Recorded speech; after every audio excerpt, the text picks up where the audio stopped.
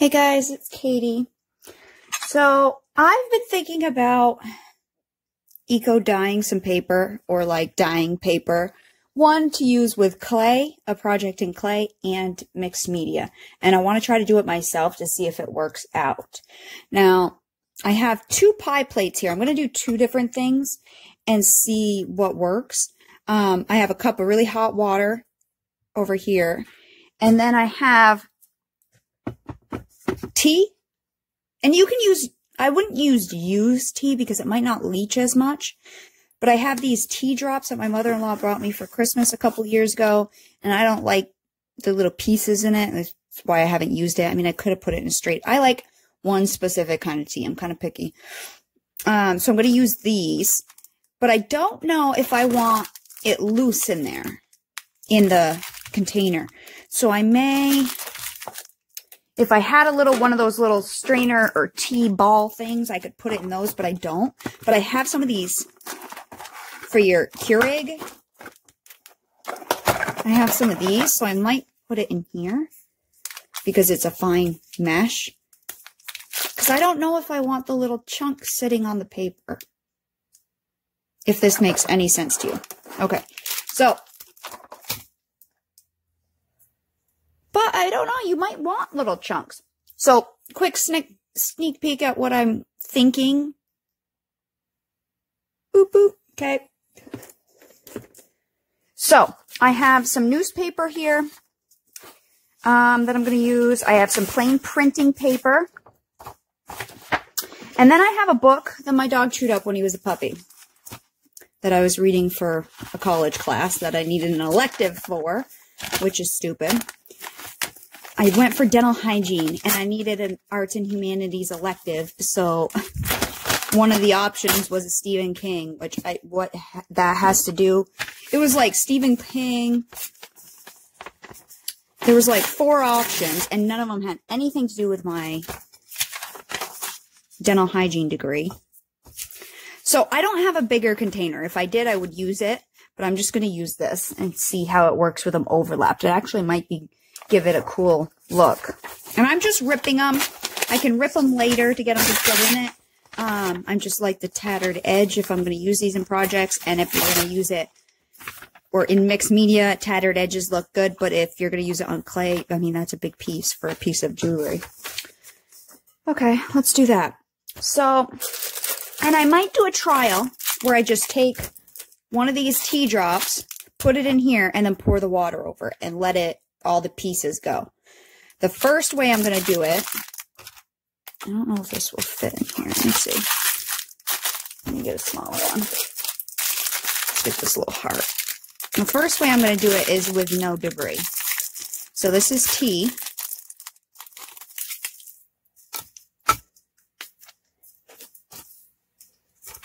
And I think I'm just going to... Hmm, Yeah, I'm just going to set it in there and let it do its leaching thing, and then I'll pour it over it. So let me wait a few minutes for that tea to do its thing to steep in the water. And then I also have, I'm going to do a second batch, probably three batches, my old K-cups. Now they are old. They're not, I've used them, obviously, you could see. So with this one, I'm going to dump these out into one of those and put it in the same thing, water. So we'll have one coffee, one tea. Okay. Look at that tea. It just, it actually dissolves. It's kind of weird. I'm going to do another one because I want to make it really concentrated. And this kind of sludgy stuff, I don't know. Maybe it's in the bottom of my cup. I don't know. So I'm going to do another one because I really want to make this concentrated. But, I mean, if not, just put, put like four or five tea bags in here. I'm just trying to use up something I had. And I want this open. My fingers are wet. And probably won't use. So I'm going to put this back in here and really concentrate it up. And then I already, see I don't have any water down here, so I need to go back upstairs. Took one of the uh, Keurig. Now, you could probably just pour water through here. I don't know. I just opened it up and poured it in here. And I gonna go grab another cup right now and get that leaching into some hot water. And then I'll probably do the second one from yesterday afternoon. It's decaf from yesterday afternoon and empty this out and then pour this one in and bleach it again because I want these really dark, darkly pigmented. I mean, it looks dark, but yeah, that's looking darker. Look at all that stuff. See, I wouldn't drink that. That's why I didn't use these. So that one's almost ready. Let me go get another cup of hot water. Now, the other thing you could try, if you don't have any old junk books or newspaper or anything, if you want to try to personalize something, is white printer paper, um, type something on it to make it kind of look like a newspaper or something. Type stuff on it and then try dyeing it. The other thing is I don't know if the ink is going to bleed if you have just recently printed it. So the other thing you could do is try dyeing white paper and then printing on it later. But these are going to be all wrinkly. So I don't know how either of that's going to work. So one thing I'm going to do with the tea now is just pour it on. Yeah, see, I would not drink that. That's just me. But let's let these little whatever comes out. Okay, so there's the tea one. And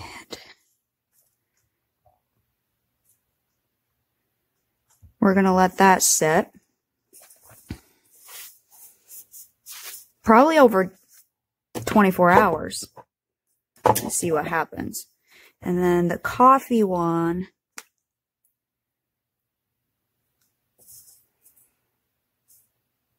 Let's see. This is just one of the things. Obviously, the second one's still sitting there. So let me see if that's going to be.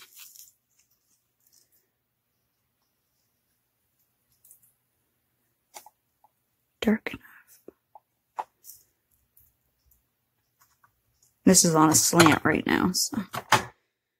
Okay. So I'm going to let these sit and see what happens. And then maybe if I wasn't happy with the tone of it, we could do it again. You know, do another one and then dump this out and pour it back on it. I don't know. We'll have to see, wait and see what happens. So I'm just going to let these sit over, you know, today. It's only, uh, it's 11. It's noon in the afternoon. It's noon. So I'm going to let these sit. Maybe tonight before I go to bed, we'll take them out and see what they're looking like and see what kind of paper is dying better and stuff like that. Okay. Okay, so I'm outside. Dogs are watching me. It's a 50 degree day. Look, we still have snow on the mountains. And we're going to do the paper. So it is now one o'clock the next day in the afternoon. So these have been sitting for 21 hours or so.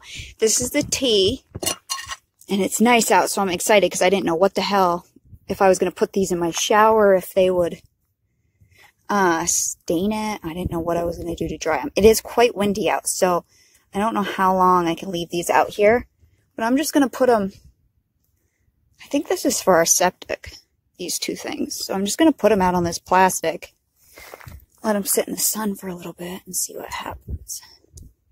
And they have, I mean, I don't know if you can see that, but they, they are quite dark. You know, this was the printing paper. So this is the tea. And I might let them dry and go, no, I want some darker and decide to make some darker, like do it again on the same pieces. So I'm going to let these sit out here and dry. Let me go get the coffee ones and we'll do the same thing. Okay, so here's the coffee ones. Yeah, I'm gonna have to watch. Oh, I'm gonna have to watch these because it's windy. It's freaking almost May and we're just hitting the 50s. I mean, it's crazy. I want some nice, I can't unfold that. I want some nice weather. I mean, it's nice today. Thank God there's sun today. It's sticking to the other domed one better than it's sticking to this one. Yeah, see, I'm not this. Let's see if I can fit this in here somewhere. Because it's actually sticking to this one. Sorry. I'm holding my camera and trying to do this. I mean, if I had a clothesline, I could probably put it on the clothesline. Hi, buddy. Happy boy. But I don't have a clothesline. Ah, oh, one. So I got them all laid out and actually they're drying really, really fast. So I just want to show you while they're laying here. That's the coffee printing paper. It's still pretty white. This is the tea. So as far as your teeth go, I guarantee you tea stains more. Actually, I know tea stains more because I can tell when people have tea stain, but it didn't really, so I might have to redo the coffee one. I don't know. I'm just going to have to, the coffee's all on the outside, the tea's in the middle. So I'm going to let them dry as much as I can outside and then maybe I'll have to hit them with my heat gun inside. I don't mind if they're crinkly. I don't mind, but actually they're drying fairly flat. So we'll just, I just got to wait and see what happens. So. Okay. Let me show you what I got going on here. So plain pa printing paper, tea, coffee. The coffee, just a little bit, but it didn't really do much. They are still slightly damp, but not. So I think I'm going to redo the coffee. So let me go get some hot water and stuff, and I'll show you what I'm going to do and see if that changes it. I'm going to redo the coffee. The tea I'm actually pretty happy with, but I might take a piece of each, piece of the plain paper, a piece of the newspaper, a piece of the book, and dye it again just to see if I can get it even darker, you know? Might as well. So let me um go get some hot water. Okay. I also, so again, all of this is tea. You know, I tried to find pieces of newspaper that don't have pictures on the back. So this may, may not work for me. Um, but look at the book. Okay. This is where we started. This is where we ended. So it did do quite a bit. What I'm going to do with all of these that I've already dyed for 24 hours, I'm going to dye them for another 24. And then I have a bunch of new stuff that, that will get 24. These will get 48, if that makes sense. So I'm going to put them all back in. With the tea, rather than using that little K-cup thing, I just dropped it right in the water to get the little pieces. And with the coffee, I took it out of my K-cup. I dumped the grounds in, and I'm going to use the grounds. I want to see and this is used coffee. So pure coffee that has not been used might give you a darker tone, but this is used. And it's light roast. I only drink light roast. So I'm going to pour all of it with the coffee grounds and everything to see if that will do. Do something. Let me get a, like a Q-tip or something and see if I can. get those down in the water. Or, yeah, in the water. And then we'll see what these coffee grounds do if they leave little bleed spots. I don't know. We'll see what they do. So that's the coffee. And then the tea, we'll do another round of it. So the tea died well. And you know, different types of tea may do different. So this time, like I said, I just put it right in um, different tea bags may do different things. Like upstairs, I have my, I don't really drink it. I drink sleepy time tea and then I drink, um, a jasmine green. But like, I wonder, my mom got me some of this apple cinnamon one. I wonder, that one looks really red. If I remember when I was a kid, that might give you a different tint. Green tea, you know, different teas when they steep look differently. So I wonder if those will give you different things. So another, so it's one o'clock well, 1.30 now. I'll uh, let these sit until tomorrow and see what happens. I might have to rinse off these coffee grounds and tea grounds. I don't know. We'll have to see if when I pull them out, if they come off like that. And if most of them come off, then I'll probably be fine. If they stick to it, I might have to rinse it before I dry it. I don't know. We'll have to play around and see. So I will let these sit again and see you tomorrow. Okay, guys, so here's our paper, obviously. And there are some coffee grounds. I just took a couple out. I think I'm going to let the coffee sit another day just because it's rainy out and I can't really take them outside. I just pulled a couple out of the thing just to see what happens because um, I want to let them dry. So here's the book. I pulled a news piece of newspaper out, a piece of the book, TT coffee. So this is the tea that's been in for 48 hours. This is the tea that's been in for 24. So different papers will probably, and this is a coffee, um, different papers will probably pick up the dye a little differently or tea and coffee. But here's where we started. So coffee, 48 tea, 24 tea. So either way, they've dyed nicely. Um, and again, try printing your own saying if you want to on these. Um, for what I'm going to use them for, I can just, I don't care if it's generic. Um, so I'm going to dry these with my heat gun because it is not sunny outside. And when they're dry, I'll show you what we're going to do with them. Or a piece of them. Okay, there's our eco-dyed paper. I mean, once they uh, went dry, they're not very see-through, so that's pretty cool. So these can be used in mixed media projects, all kinds of things, you know, just by layering them. Jaggedy edges and stuff will look really cool in different mixed media projects. So use them for that. We're going to use them in a clay project and probably mixed media projects.